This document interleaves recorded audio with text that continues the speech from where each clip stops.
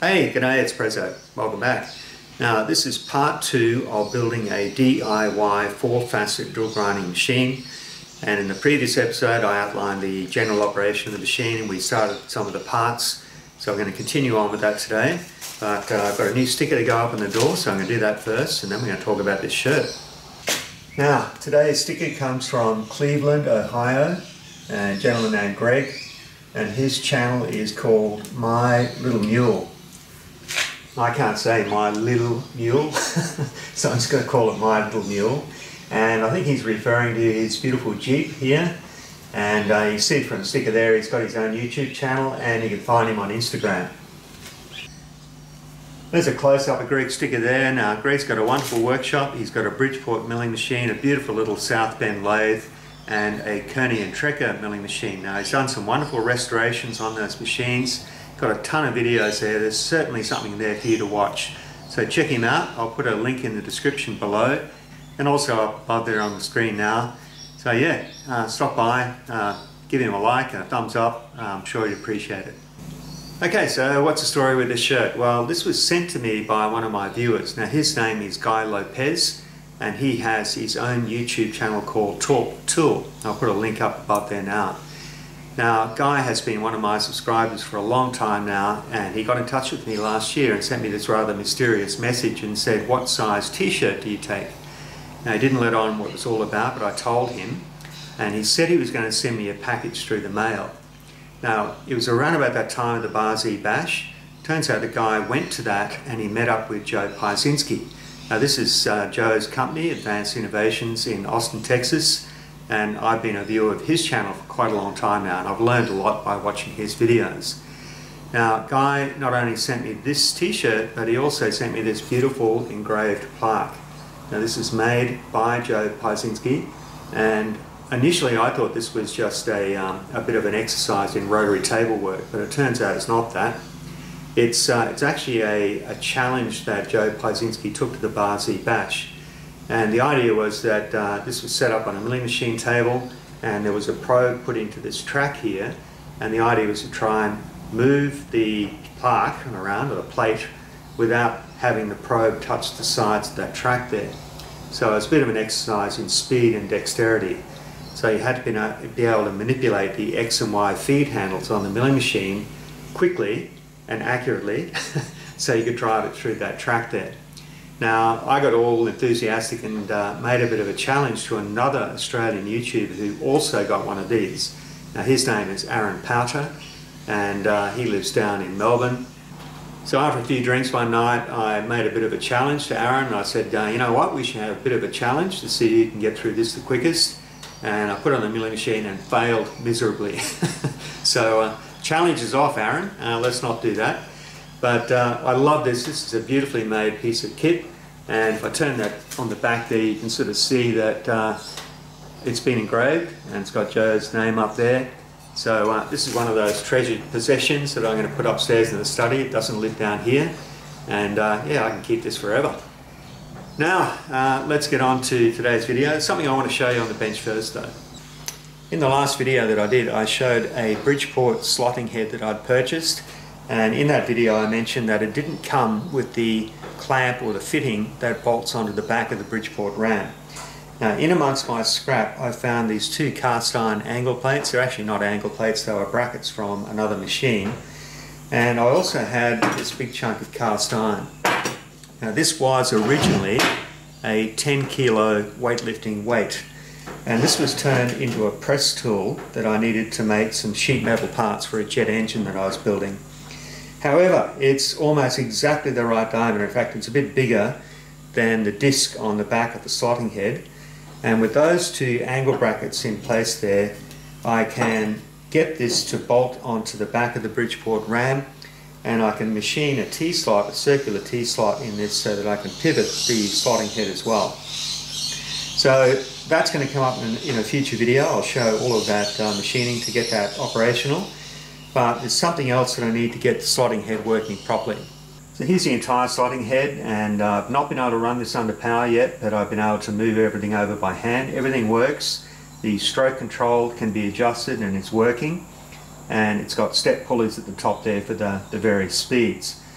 Now this motor is three phase and it's got its own on off switch in that box there and obviously the power lead would come out the back of that box there and I can either plug this directly into the rotary phase converter but I would rather control this from the contactor in the electrical enclosure on the Bridgeport mill.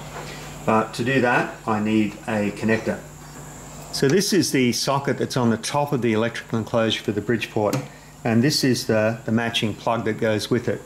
Now this is connected directly to the motor and it's got an earth pin and then it's got three pins for the three phases. And this is made by a company called LPA. Now the number on this is X4S slash P0 and I've tried and failed to buy one of these. I looked on eBay, I looked on the US eBay site, and there are some of these available, but not with uh, four pins. And uh, I got in touch with the company, LPA, and they said that this is basically an obsolete part.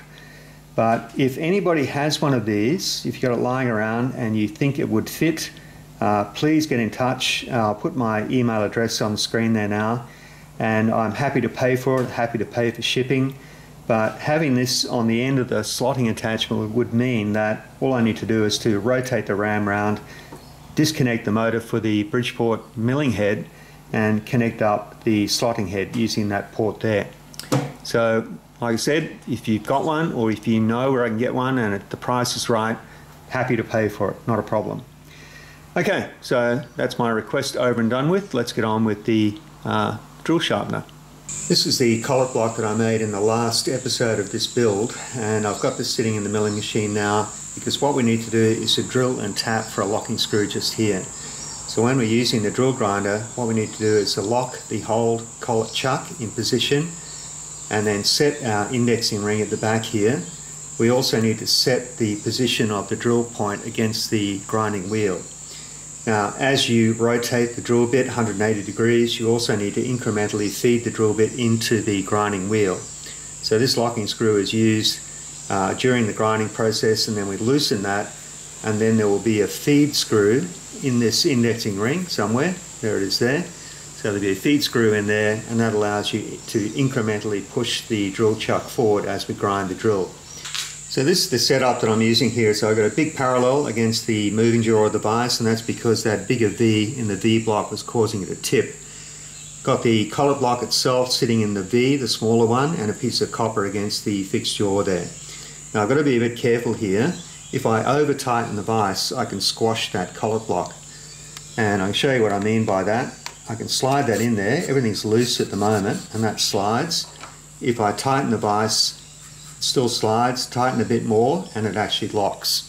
So it is actually putting some sideways pressure on that, and it's very thin, so I've got to be careful I don't over tighten it.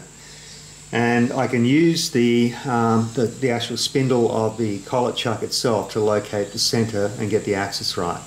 Anyway, I'll show you what I mean. Because I know the diameter of this collet chuck here is 25, I only need to edge find against one side, and then I can move across exactly half of 25 and half of this uh, edge finder here which is 10 and then the drill hole is 19.05 or 3 quarters of an inch from the end face of the collet block.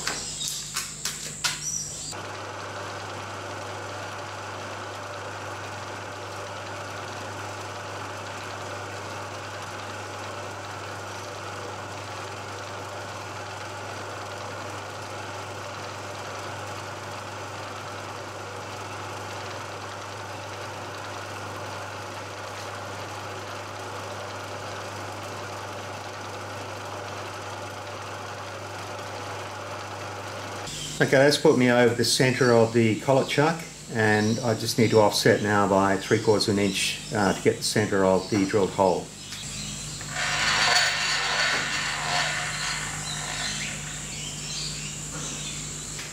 Okay, well that should be it there. Now I know it looks a bit offset, but don't forget that this collet block is rectangular, not square. So we're not going to be right on the very sharp edge at the top there, or at least not centered on that. So I'm just going to plunge down with a 12mm carbide end mill now and make a flat and then we'll drill and tap.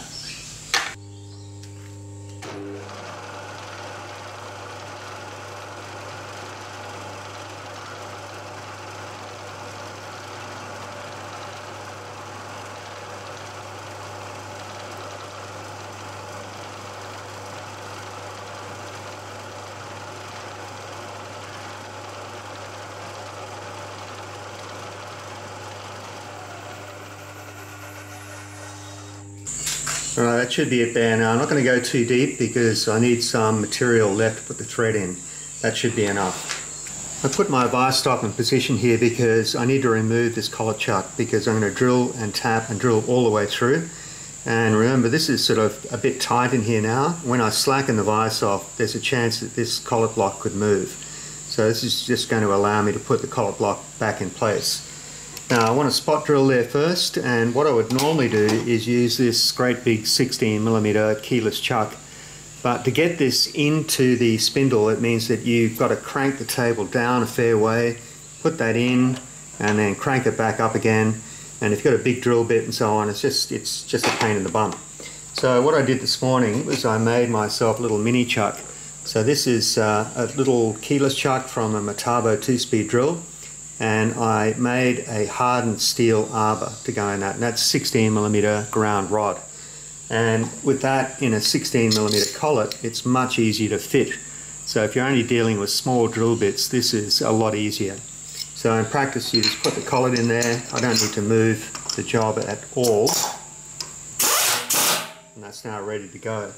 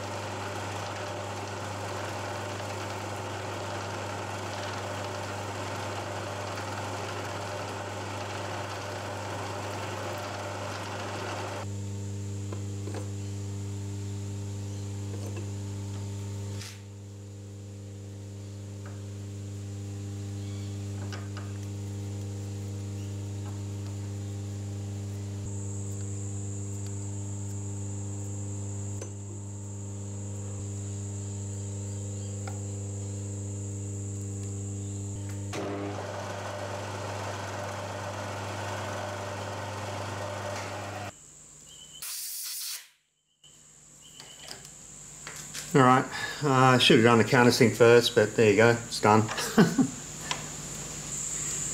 That's the collet block pretty much finished now. I do need to make a little brass screw to go in that threaded hole.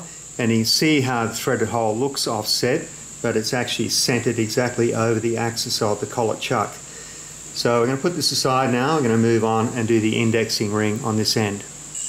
This indexing ring is going to be machined from this stock here. So this is uh, 6011 aluminium and there's not much uh, in this particular part. The only really critical part is this track which runs around one side of that index ring and that will have to be done on the rotary table.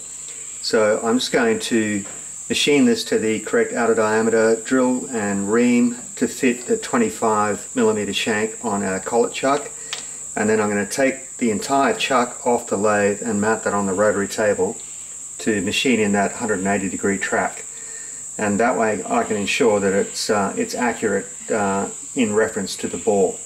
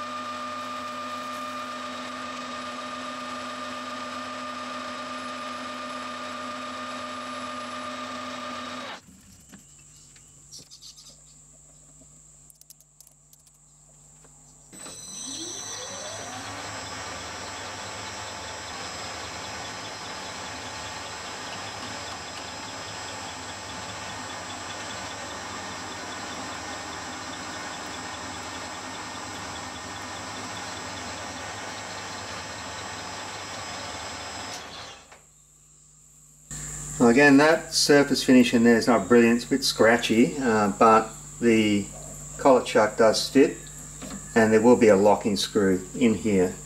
And uh, what we need to do now is take the whole chuck off the lathe, go over to the rotary table, and we're going to mill in that track, which is essentially a cam. Uh, then we can do all the rest of the drilling and tapping and so on, and I'll part off to finish. So this is the three jaw chuck. Uh, it came off the back plate, which is still mounted on the lathe, and I fitted the three jaw chuck to this aluminium casting. And I've aligned the spindle of the milling machine with the center of the rotary table, and I've got the part aligned with the spindle as well. So if I run the dial indicator around there, I've got you know, roughly five microns all the way around there, so that's good enough. Now I've set the absolute on the DR rotor zero in this position. And what I want to do is while I've got the rotary table here, I want to make these two parts. So this is the feed lever, that's the connecting rod. These need to have a whole bunch of holes drilled and also the ends need to be radiused. So what I can do is go over to the device and use the incremental to do the hole drilling and then come back and pick up the center of the rotary table with the absolute on the DRO. So I'm going to set up now for milling that uh, section of the, the track and it's for a 3 millimeter dowel pin.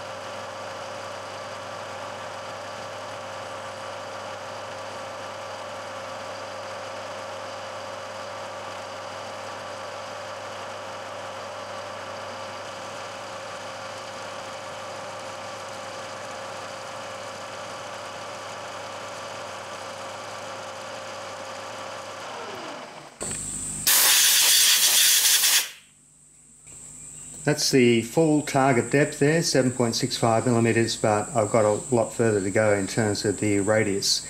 But that's the full 180 degrees, and I just want to do a quick run through there, take a fairly light cut just to get used to the workflow.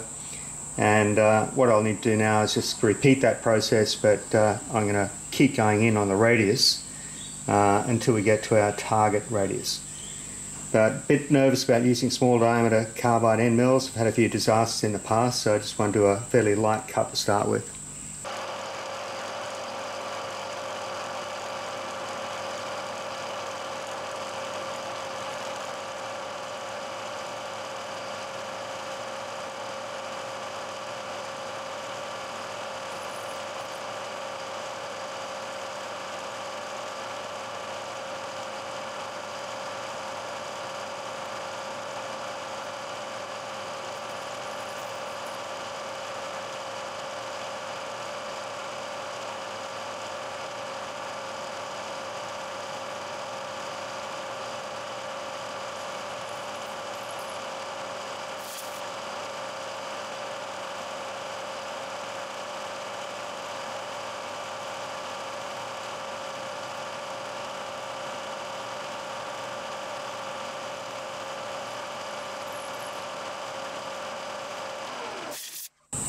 Well, I think you got the idea. I'll bring you back when I'm on the last pass, but I've just noticed that there's some chips getting welded onto that surface there. Uh, I didn't keep the coolant up to that as I was reaching the end. I was too busy watching the rotary table to make sure I stopped at 180 degrees. But when I get to the last pass, I'll need to add the coolant more regularly.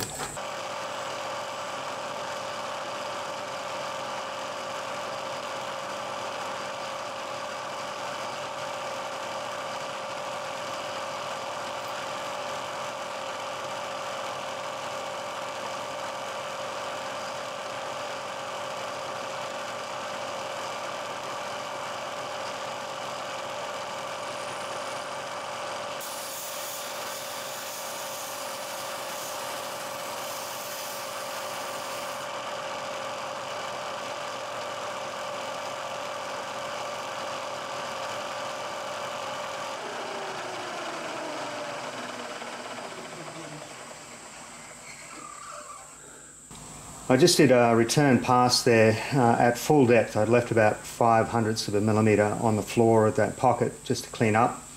And in theory now, our collet chuck should fit in there, gauge pin should uh, go around that track there and should stop exactly 180 degrees apart. Okay, I'll see if it fits. All right, that's good. Now, uh, before I take this out of the milling machine, I need to drill a single hole through this face here, and that's for a feed screw.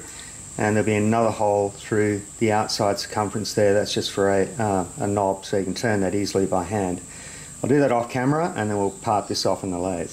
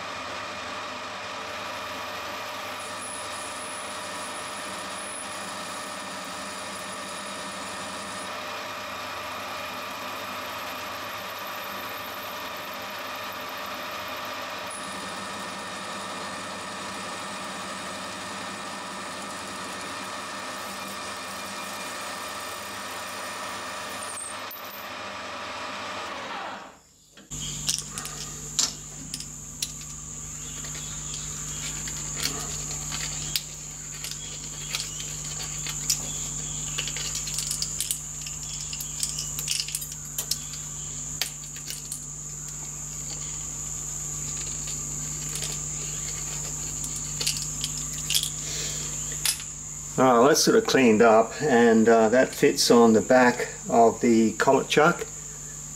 So it's going to work like that. And I've just realised that the screw thread that has to go through the outside circumference of this part here also locks that index ring onto the collet chuck. So that'll have to be a through thread and the screw that we fit in there not only serves as a handle for the index ring, but it also locks that onto that uh, shank there.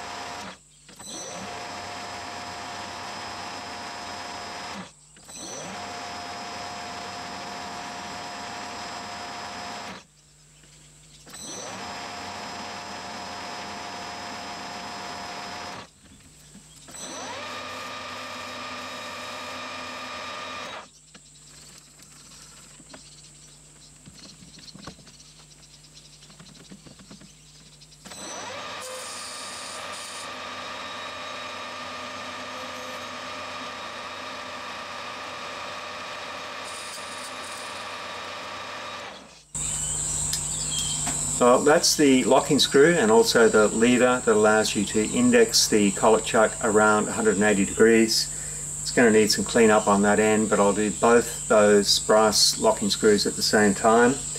And more interesting is uh, how are we're going to drill the hole for this screw in the index ring because it's got to be offset at some weird angles, but I have a solution. So you can see I've cleaned up the end of that brass screw there, just did that in a collet in the metal lathe and I just face that off. But what I need to do now is to drill and tap a hole through the circumference of this index ring. And it's a bit of a weird setup. It's uh, got to be offset 45 degrees from this existing hole. That's already in the aluminium part here.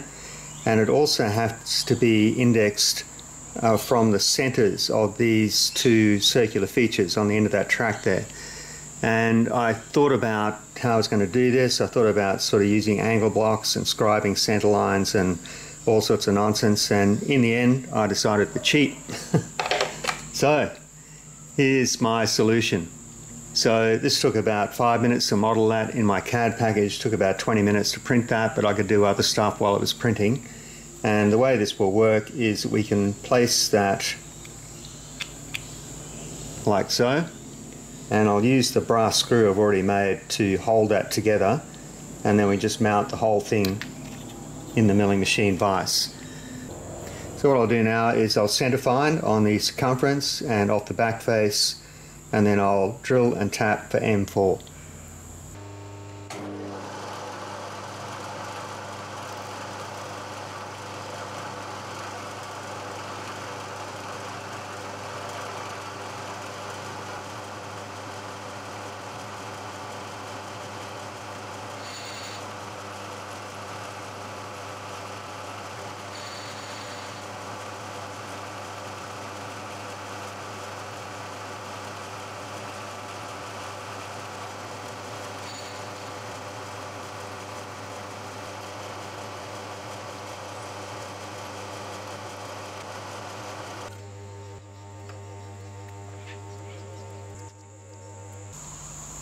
There's the locking screw in place. I think I'll just clean up the inside there, put it all together, and we'll go over to bench. And I think that's the end of today's episode. There's complete assembly to this point, and these two brass screws are really important in the grinding operation for drill bits. So when you set up a drill bit for the very first time, you put it in the collet chuck, tighten the chuck, and then you have to align the lips of the drill with the fixture. So later on I'll be making that fixture and you can visually set up one of those lips with a scribed line horizontal through the center line of that fixture. And when you've got that, you lock this brass screw here and then you can run the index ring around against that pin there and then lock that in place as well.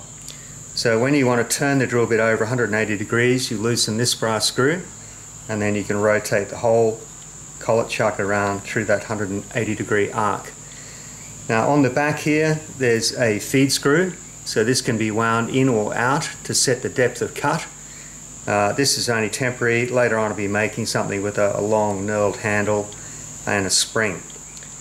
Uh, that's described in the notes uh, that John Moran has produced for this machine. So here's the trunnion and don't forget that we've got three different holes here we can drop these pins into. So that one there is 135 degrees, but we can come around to 118 degrees if we want to.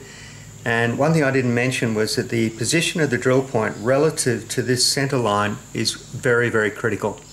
So if you can imagine that line passing through that axis, the drill point has to intersect that line exactly. Now there are notes on how to achieve that accuracy, but I won't go into that now. We'll look at that in a later episode. But then you can raise and lower the trunnion and get the grind that you need on the tip of the drill without any fuss or bother once you've done that initial setup. Okay, so I think we're going to finish up here now. Uh, I'm going to leave you some footage of the little Joey kangaroo that's been here with its mother over the last week or so. We got a really good look at it the other day. It uh, came out of the pouch, or stuck its head out of the pouch and had a bit of a munch on the grass. So I'll show you that. And then when we come back next time, we'll start work on this trunnion plate and try and get that done. Okay, so it's Prezzo signing out. Thanks for joining me. See you next time.